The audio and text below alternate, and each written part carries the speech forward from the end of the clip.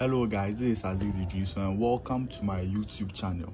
Please, if you know you've not subscribed yet, please do so by clicking on the subscription and turn on your notifications so that you'll be notified anytime I drop a new video. Thank you. Today I'll be sharing with you my, you may disagree or agree with me, but these are my five best civil engineering softwares I can recommend to you.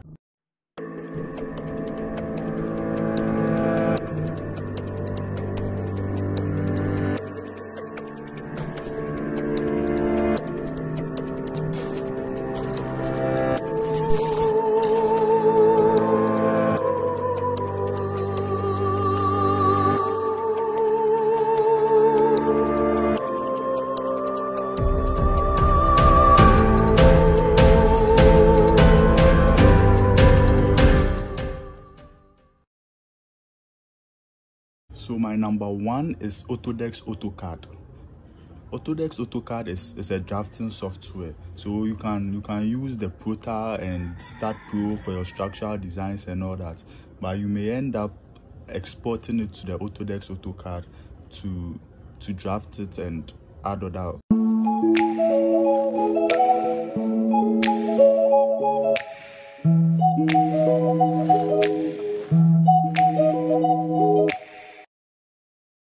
Then my number two will be the STAAD Pro. You can either use STAAD Pro or Prota Structure. I can choose between these two. These are designing softwares.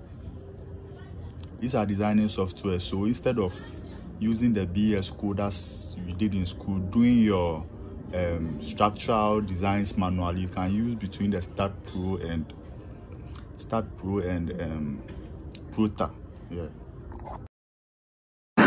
Oh my god, I ate the Zizi kebab meat this morning. Ah,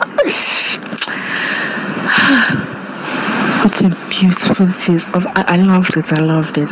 And I even to ask you one question. Number three is the Primavera.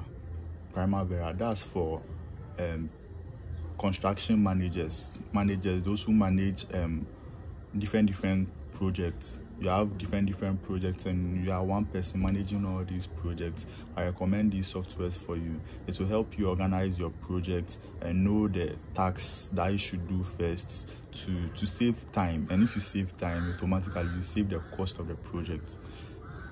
And number four is revit. Revit will revit will help you do a 2d and 3d modeling which will help your clients to visualize their drawing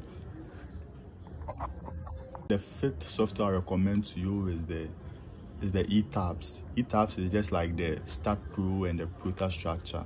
It helps you to it helps you to to do to design. Design mean, actually means you know the number of um, reinforcements in your concrete. You know the number, the grade of concrete, um, the size of your columns, the size of your beams,